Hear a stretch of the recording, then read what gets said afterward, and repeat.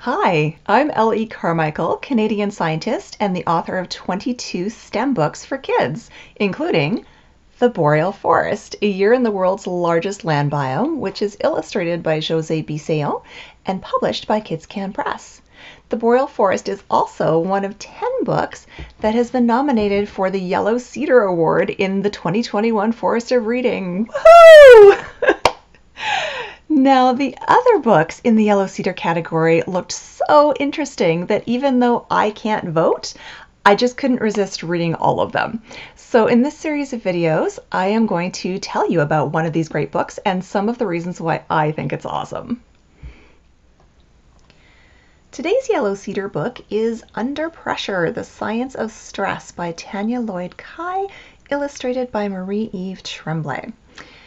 Right now is probably an excellent time for all of us to be reading this book. I don't know about you, but I have been finding the world kind of a stressful place lately.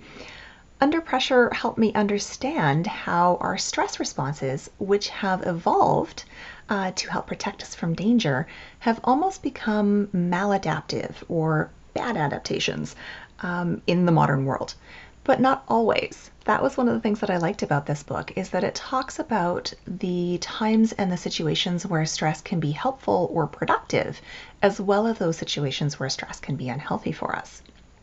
I love the way that the author used really interesting examples, everything from SARS to space, to explain the science of stress and the clear and lively language that made that science easier to understand. And I also think that it's really great that this book talks about the things that we know about stress and the things that we don't quite understand yet. Um, for example, some of the differences between the way stress affects men and women and how we might not know those things because of the way scientific research has been done in the past, primarily on men.